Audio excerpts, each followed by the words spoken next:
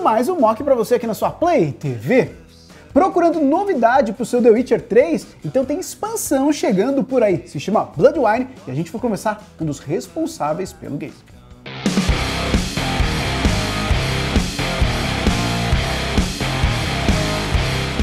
Pois é, nova expansão para justamente The Witcher 3, Blood and Wine.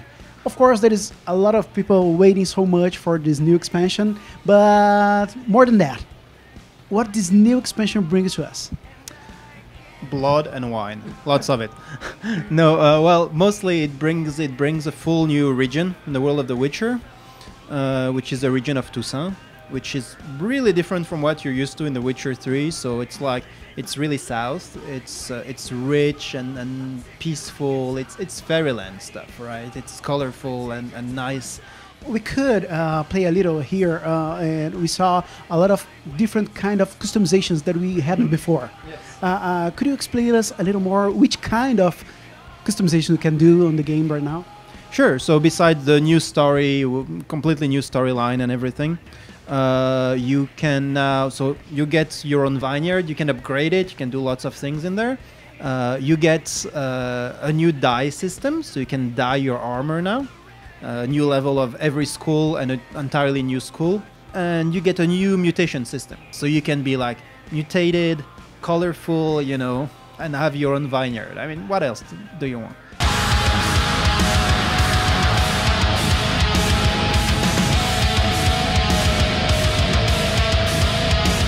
Tell us a little more about the plot of this expansion. Okay so it starts, you're summoned basically. So, so Toussaint is a duchy, and the Duchessa summons you as a witcher to come because she needs your help.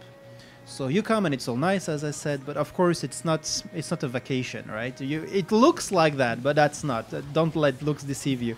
So, so behind the surface, behind all this pretty, you know, it's very, it's very traditional Western fairy tale style, right? So you have knight errands, you know, it's very like Knights of the Round Table. It's your classic fairy tale fantasy thing.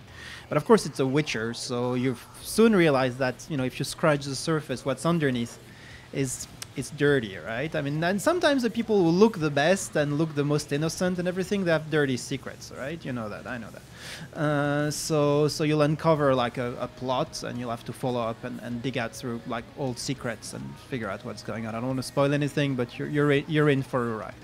Of course, for those that is waiting so much for this new expansion, uh, we have a release date, and of course, uh, no, we don't. no, we have. Well, I, the only thing I'm allowed to tell you, for me not to lose my head, is uh, first half 2016. So if you can count, that's not a lot to wait. I don't. I can be more specific than that, but I can tell you, like by the end of June, it's done. It's released. Ou seja, tá chegando a hora de recebermos Blood and Wine, pacote de expansão para The Witcher 3.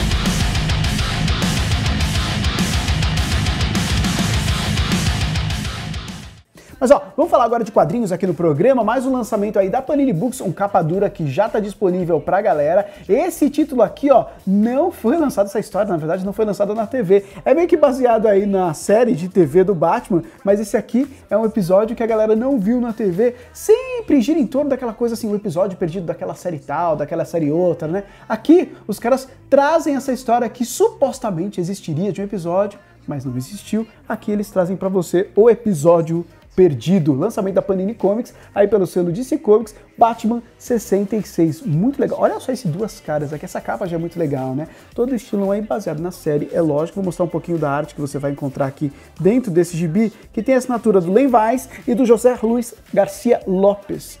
Olha só, já deu para perceber que a história gira em torno também do Duas Caras, né? Um dos vários inimigos do Batman, com certeza Duas Caras é um dos mais importantes. Aqui atrás você vai encontrar alguns esboços e muito mais nesse capa dura que já está disponível nas comic shops, livrarias e bancas de todo o país. Você vai encontrar. Olha só, são 84 páginas de quadrinhos para você. Esse aqui, é claro, é o número 1 por R$ 23,90. Como eu disse, já está disponível para a galera que curte quadrinhos.